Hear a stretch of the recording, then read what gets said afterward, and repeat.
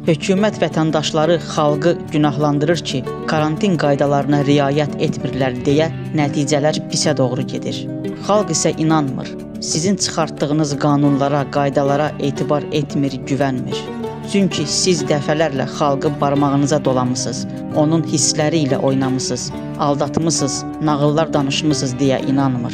Koronavirusa görə kəsdiyiniz cəzaların ən sərtini müxalifətçilərə şamil etdiyiniz üçün inanmır. Pandemiyadan dolayı zərər çəkən tərəf sıravi vətəndaşlar olduğu üçün onun qaydalarını siz özünüz ciddiyə almadığınız üçün inanmır.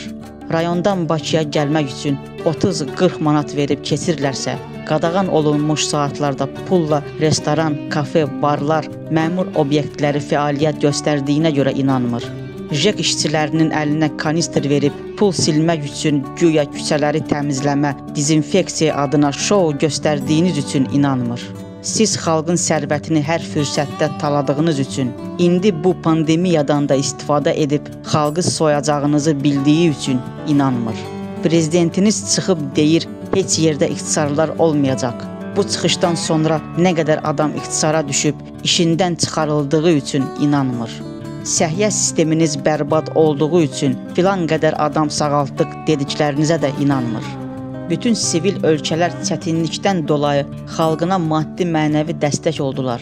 Büdcənin ağzını açdılar. Siz isə fond yaradıb xalqın cibinə girərək, maaşlarından kəsərək o fondu doldurmağa çalışdığınız üçün sizə inanmır.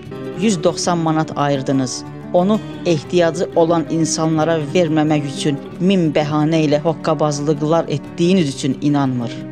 İnam qazanmayan, idarə etdiyi xalqın güvənini sarsan, etimad və etibarı olmayan bir hökumət məhvə məhkumdur.